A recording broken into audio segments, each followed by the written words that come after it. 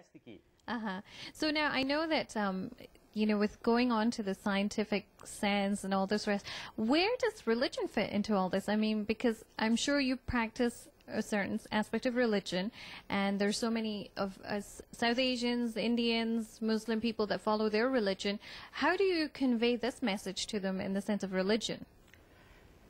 Yeah, the you're right. The religion and science Mm-hmm. are kind of two islands of their own. Right. So where do you bridge that gap? Yeah, the that's where the key is that actually that does that gap does not exist. It's our mm-hmm. lack of knowledge and lack of understanding, Uh-huh. and that's where the hidden factor comes in. what is the hidden factor uh-huh. which builds the bridge between the two islands of science and religion? Right. because religion is based on uh, it's more story based mm-hmm. it's more uh, less scientific basis. Mm-hmm. Uh, it's based on faith. You believe in it. Thou shalt do this. Here mm-hmm. are the number of commandments. Or you got to wear this or not wear this or do this and not do this.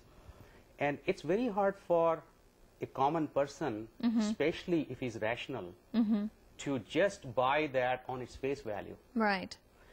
and so that's why you see an erosion of religion or faith in it.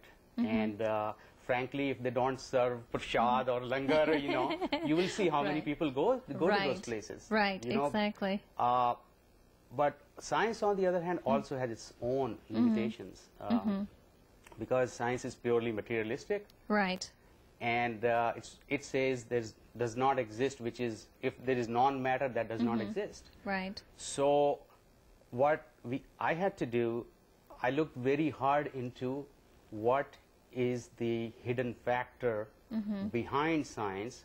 First, I I was convinced that scientific uh, approach is a better approach because that's the only approach which will convince the ABCDs and Right. and the so-called logical Okay. generation. Uh-huh. So I adopted that approach because I didn't feel that the other approach will work. Right. So I started building on that and looking harder and harder into science itself. Mm-hmm. I found that I looked into what paradoxes they have. Mm-hmm. So, and then I started looking into what paradoxes the religion has mm-hmm. in terms of, you know, just nominal questions like what is God, what is reality, what is purpose of life, what is meaning of life, and things like that. And on science side, they have their own paradoxes and dilemmas. Uh, what is, uh, why is universe expanding, where it came from, where it's going to go, uh, what is dark matter, dark energy, some sort of parallel questions. You see mm-hmm. there are parallel questions on two mm-hmm. sides. Mm-hmm. And they're, in fact, if you look deeper, so what, that's what I started looking into, that how do we answer, is there a common answer which, uh, uh which answers both the questions on both sides? Right. And that would be the bridge, and that would be the hidden factor. Right. And because Einstein said that very clearly that there is a hidden factor behind these theories, Right. that's what leads to these paradoxes. And he tried all his life to get into that.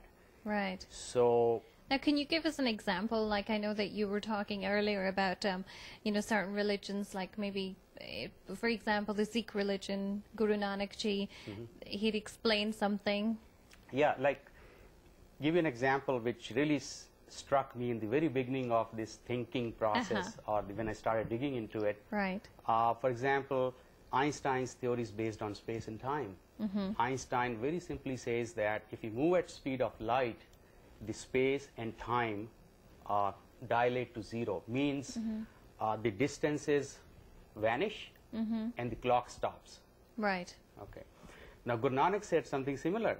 He says, "Uski trishna puk sab mite, jo har naam the aave." So har naam the aave is the enlightenment, or moving your thoughts at speed of light, whatever you say. right. It's, there's, a, right. there's an ana- analogy. Mm-hmm.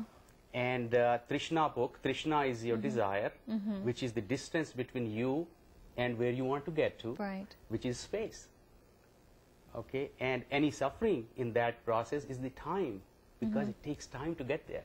Right. so you see work. that parallelism. So when I see these parallel similarities, so there are several examples I can give you where one by one, all the mm-hmm. scientific concepts, mm-hmm. they have similarity with the religion, mm-hmm. although they're talking in their own language. Right. And so what I try to do is try to find those commonalities and put that in a sort of mathematical form, more rigorous form, so it's black and white, not gray, right. so that it's hard but not soft. Because I used to go and listen to many of the lectures and you know religious lectures. Right, a lot of right. people would come and uh, a lot of very well-known people. Right. I always came back with a question: Where is the science in it? So this is where the hidden factor came into in